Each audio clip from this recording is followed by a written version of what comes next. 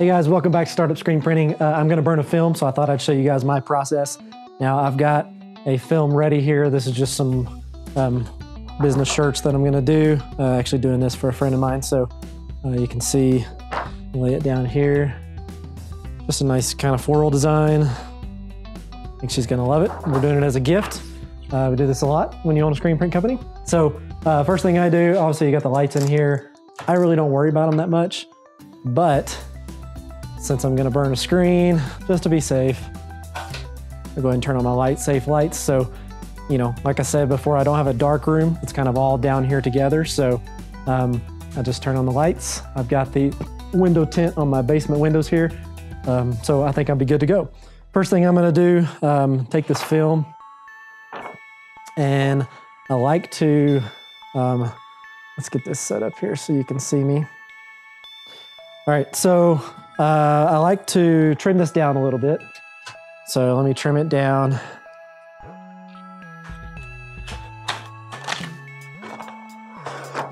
Bring the film down so it's a little more manageable size. then I'll take some tape. Let's turn this around. Maybe you guys can see a little better what I'm actually doing. All right, take some tape. Just gonna throw it on the corners here. Sticky side up. And then once I'm done there, you know what, I can actually do this in the light, but we're not gonna worry about that. I'm gonna pull out my screen uh, registration template helper thing here.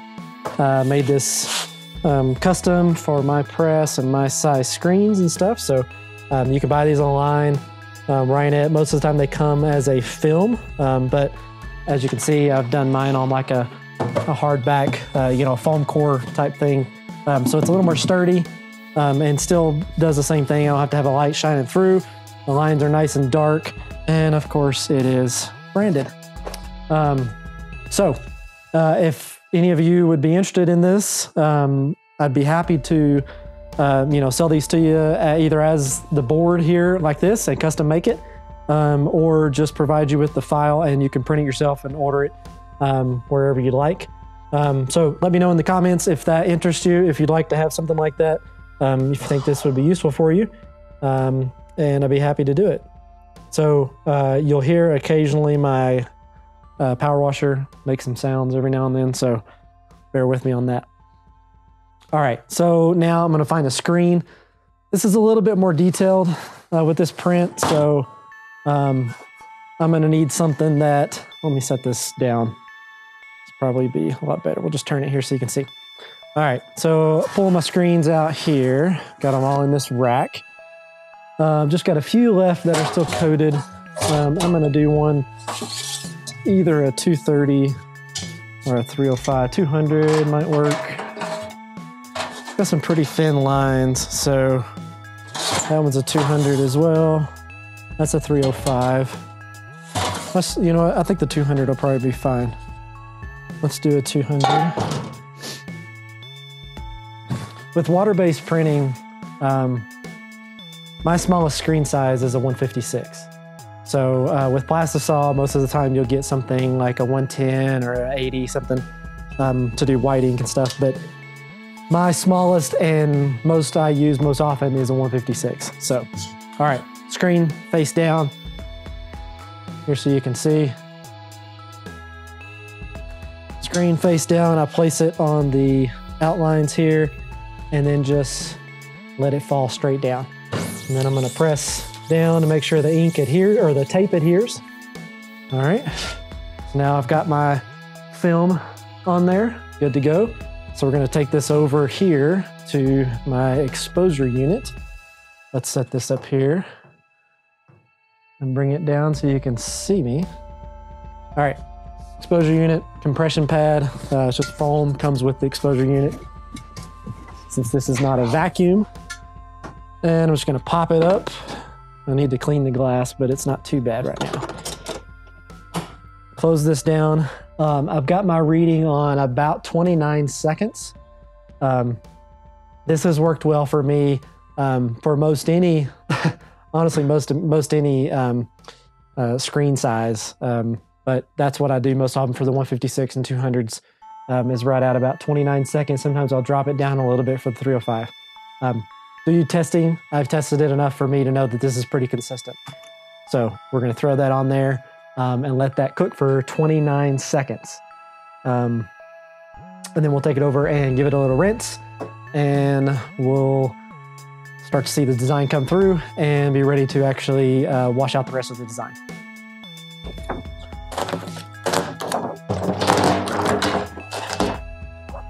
All right, film, just gonna set aside, but I wanna set it away from any potential splashing because it's, can, the water kind of mess up the film. Obviously I need to do some cleaning, my screen's in here. so let's pull these out for now. Took a break from training for a while um, through, the, through January. It's kind of a time off for myself and I just need to get back into it and get some stuff cleaned.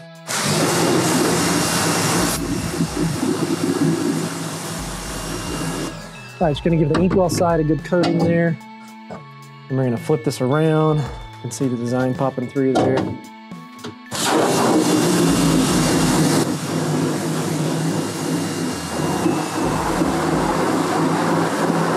Give a good coating on the back. We'll let that sit for a few seconds and then we'll be ready to burn out the rest of it. Or I'm sorry, wash out the rest of it.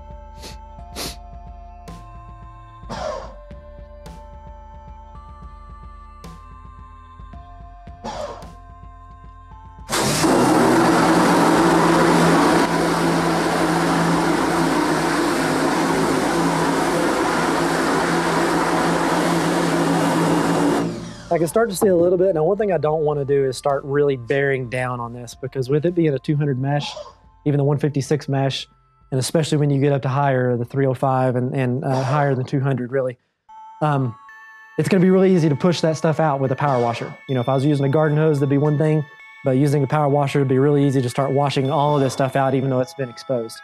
So I want to be want to be careful with. I'll start see it start to break down.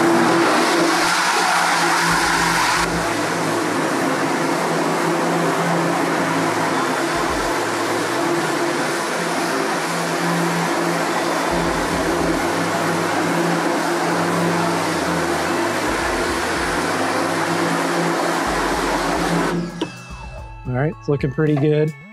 Now, you, you might, either you're somebody out there who's a professional at this, or uh, you've watched enough videos and think, gosh, shouldn't it be done by now? I mean, he's really going at it.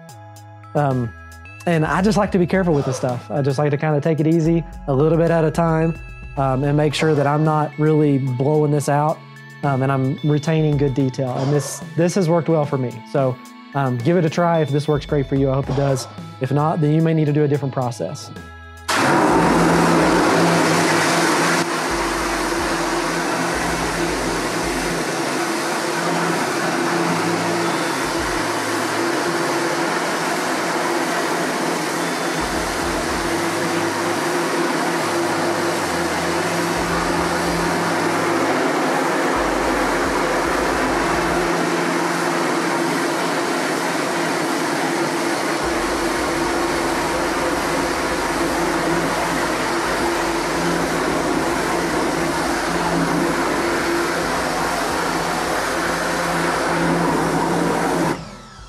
All right, so that's good now. Now a lot of this emulsion now is starting to soften up.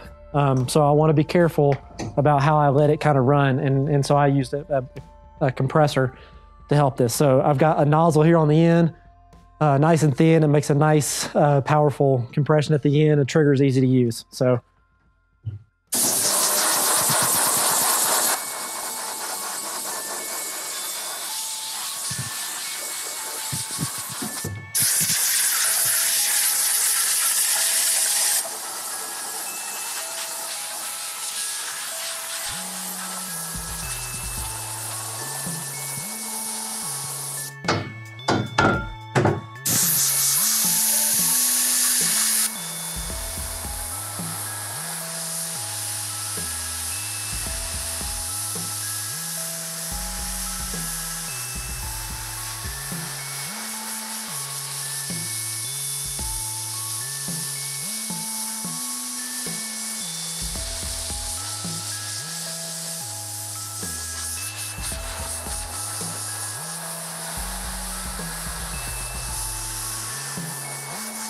All right, I think that's pretty good. I don't have this on super high pressure, so because um, again, I don't want to don't want to blow it out. But what I wanted to do is kind of semi-dry it, get most of the water, um, you know, not running down it because some of this layer, top layer emulsion can kind of run down and get in to the, the area where you've exposed or where you've washed out rather. And uh, then when you go set this out, I'm gonna go set it out in the sun to dry. When you set this out to dry, um, that's going to expose that residue that, that that's run down into the design and and lock in that part of the design. And so when you go to print now, it's going to be blocked, and you're going to have to rub and rub and rub with some aqua wash and really try and get that to open back up, and risk kind of ruining the stencil. So. Um, I do kind of a semi-dry there to make sure that I don't have anything running anymore on the screen, but obviously the screen's still wet. Um, so now I'm just gonna go sit this out in the sun and uh, we'll be good to go. All right, we're good now. Lights are back on. That screen is outside drying. Um, and so I'm ready. I'll be ready to print that this evening or tomorrow, uh, whenever we get all the stuff in that we want to want to print for this person. We've got some some uh, just a few items that we're going to give her, so we want to print that on there. Um, so that's my process. That's what I've used um, for seven years now uh, to to burn screens. Um, I, I, had a dark room for a little while when I had black plastic surrounding here, um, but it wasn't really necessary. So I didn't worry about it too much. Um, so I, have just kind of opened up the whole area. I've tested these lights to see if it really bothers the emulsion. It really hasn't been a big deal. It's not really affected it that much. So, you know, I've got them sitting over there under the under the blanket and that kind of keeps the dust off, but light gets in and I've got this light on in the basement here all day, every day, just about. So, um, and and you saw that screen exposed just fine, and that will work just fine. To I'll print those shirts, and uh, I'll be able to to wipe it out and print more, uh, even though it's water based. Because um, you know obviously you can't leave water based ink in a screen like you can plastisol. Um, it will harden up and dry up, and and you'll have a hard time getting it out of the screen. So um, let me know. Yeah, if you want to, if you want, if you guys are interested in that um, template that I have, um, again, I'll show that to you here. Um, it's it's a great size. I mean, uh, you can see it's got um, lots of different marks, and it kind of helps me line up the film, and then that transitions over to um, the platens, and I know that I can put that crosshair in the same spot and. Uh, and it'll work out. And then plus I got this a certain size to fit perfectly inside of this top rack here of this mobile screen rack. Um, so it really just works great. So if you're interested in that, let me know. Um, maybe I'll put some of those um, online uh, for sale and ship them to you guys. Um, so let me know if that's something you would be interested in, either the digital file or the printed version. I'm happy to do that.